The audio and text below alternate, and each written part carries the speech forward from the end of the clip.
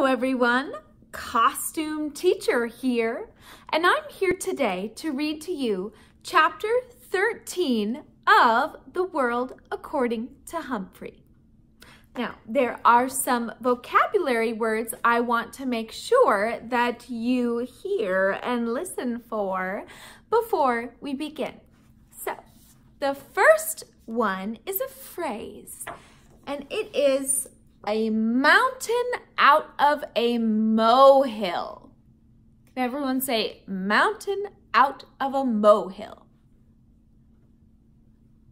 that means making too much out of a minor issue.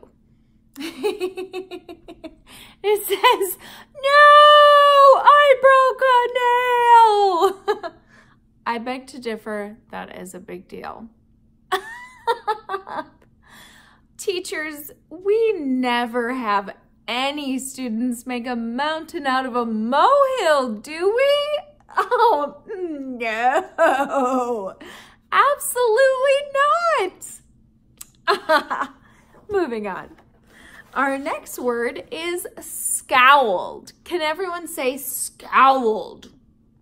Scowled means to frown in an angry way right? Hashtag mood. Scowled. Okay, and our final word is curious. Can everyone say curious? Curious means eager to know something. Like you're very curious about something. Hmm, maybe our friend Humphrey is going to be curious about something in this chapter. All right, if you are following along with the book, the chapter begins on page 102. We're already over 100 pages into this book. How fantastic! And if you're just listening to this hamster, enjoy the chapter. All right, chapter 13, thanks but no thanks. Remember when we left off, Humphrey was going to go home with Mrs. Brisbane for Thanksgiving. Let's see what happens. Since Mrs. Brisbane didn't say a word to me on the drive home, I had time to reflect on the last few months. I had not had a bad experience with any of the families I had visited. In fact, they had all been gracious and welcoming, except Miranda's dog, Clem, but I knew how to handle him. In return, I lent them a helping paw here and there. After all, you can learn a lot about yourself by getting to know another species. I was overdue for trouble and I was likely to get it as at Brisbane's House of Horrors. That's how I pictured her home, decorated with skeletons and bats and eerie jack-o'-lanterns all year long. I was shivering at the picture I had in my mind when Mrs. Brisbane actually spoke. Humphrey, I need you like I need a hole in the head, she complained. Same to you, I squeaked back rudely, knowing she wouldn't understand. I don't know what Bert's gonna say about you, but whatever it is, it won't be pleasant. Nothing he says is lately, she continued. Bert? Who's Bert? Then I realized it must be her husband the one who's sick. Well, I was certainly not looking forward to meeting him based on what I just heard. It won't be much of a Thanksgiving, she said. We don't have much to be thankful for this year. but I'll try. Good for you, I squeaked. She almost smiled. Thanks for the support. The Brisbane's house was yellow with white shutters and lots of big trees. Colored leaves covered the front yard. and on top of everything else, I have to rake, Mrs. Brisbane said through gritted teeth. Inside, the house was surprisingly cozy. Not a skeleton or bat in sight. Lots of pretty pictures on the walls and some big yellow flowers in a vase on the table. Bert, I'm home, Mrs. Brisbane called out. A few seconds later, an old man rolled into the room in a wheelchair. His gray hair was uncombed and stuck out in places it shouldn't. His chin was covered with gray stubble, and he wore very wrinkled tan pajamas. His expression was so sour, he looked as if he'd just drunk a glass of vinegar.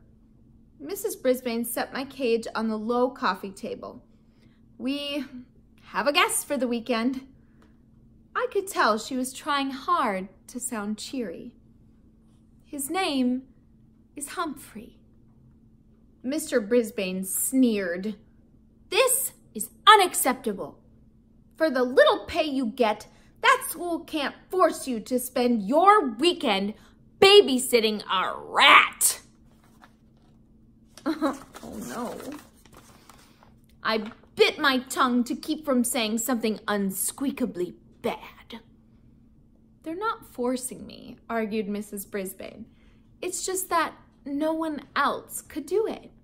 Let's not make a mountain out of a molehill. Pardon me, but I resented being called a molehill almost as much as being called a rat. Mrs. Brisbane quickly changed the subject. I thought you were going to get dressed today. Why should I? I'm not going to see anybody. Bert Brisbane growled. Except you and the rat. Mrs. Brisbane got up and walked out of the room without saying another word. Boy, nobody in room 26 could get away with talking to Mrs. Brisbane like that. I wish I could send her husband to Principal Morales's office right now. Everything was real quiet around the house for a while. Mrs. Brisbane changed her clothes to jeans and moved my cage onto a card table in the corner of the living room. Then she sat down and read the Guide and Care to Feeding of Hamsters and the chart my classmates kept on me. Looks like your friends have been taking good care of you, she said. Very, very, very good, I squeaked. She fed me and gave me clean water, and then she and Mr. Brisbane ate dinner in some other room while they watched TV. They went to bed early. I bet they didn't say two words to each other. Even Mrs. Mac talked more at home than they did, and she lived alone. The next morning, Mrs. Brisbane was up very early, and soon the house smelled yum yummy. I thought maybe I would like this Thanksgiving thing after all. At least the good smelling and eating part. Well, what I didn't like about Thanksgiving was Mr. Brisbane. While Mrs. Brisbane was clattering pots and clinking pans and making things smell good, he sat in his wheelchair in the living room and frowned. No, I don't I know a better vocabulary word. He scowled. After a while, he called into the kitchen.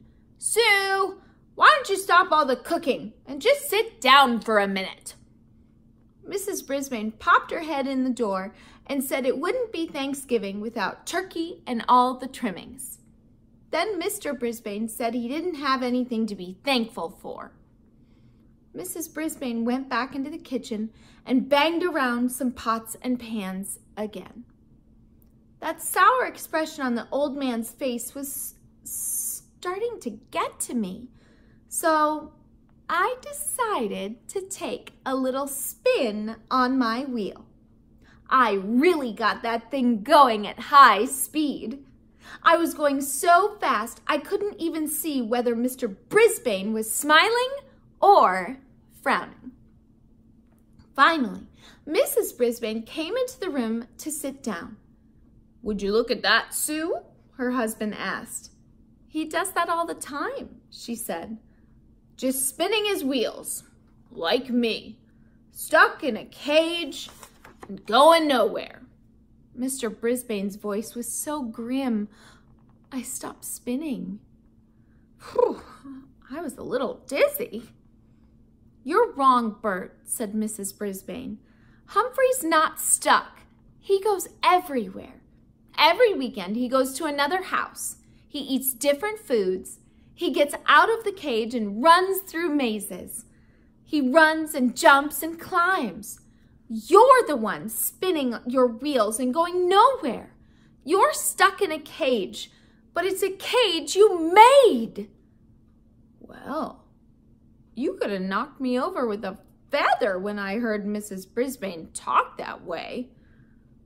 Mr. Brisbane was surprised too. Do you think I wanted that car to hit me? Do you think that was my choice? He asked. Of course not, Bert. I'm so grateful you lived through it. That's the point. You're alive. But you sure don't act like it. With that, Mrs. Brisbane got up and went back to, into the kitchen. Meanwhile, Mr. Brisbane scowled and frowned and glared at me. Finally, Mrs. Brisbane put the food on the dining room table. I watched them eating their dinner from my vantage point on the table in the living room. They ate, but they didn't say much. The food's delicious, Mr. Brisbane finally said. That's the nicest thing I'd heard him say so far. Thank you, Mrs. Brisbane replied. There was silence for a while. Then Mr. Brisbane said, Just think. Last year, after Thanksgiving dinner, Jason and I threw the football around the backyard. Now I'm stuck here and Jason is in Tokyo. Let's call him Bert, his wife suggested. It's too early there, he said. We'll have to call later. Football. Jason. Tokyo. You can learn a lot if you stop spinning and start listening. I listened late that night when they called Jason, who turned out to be their grown-up son who is working in Tokyo, which is far, far, far away, even farther than Brazil, according to the maps in room 26. Boy, there were more Mrs. Brisbanes than I'd ever dreamed. One was mean to me. One was nice to students. One was a wife. Another was a mother. One was a cook, and one wore dark pantsuits, and the other wore jeans. But which one was the real Mrs. Brisbane? That night, as they headed out of the living room and toward the bedroom, I heard Mrs. Brisbane, the wife, say, I know you think I was being hard on you, Bert, but it really is time for you to think about what you're going to do with the rest of your life. Mr. Brisbane didn't answer. Tip 13. Remember, hamsters are very, very curious. From Guide to the Care and Feeding of Hamsters by Dr. Harvey H. Hammer. Wow, well, we kind of learned a lot in this chapter if you were listening, am I right? We learned why Mrs. Brisbane maybe has been feeling the way she has this year.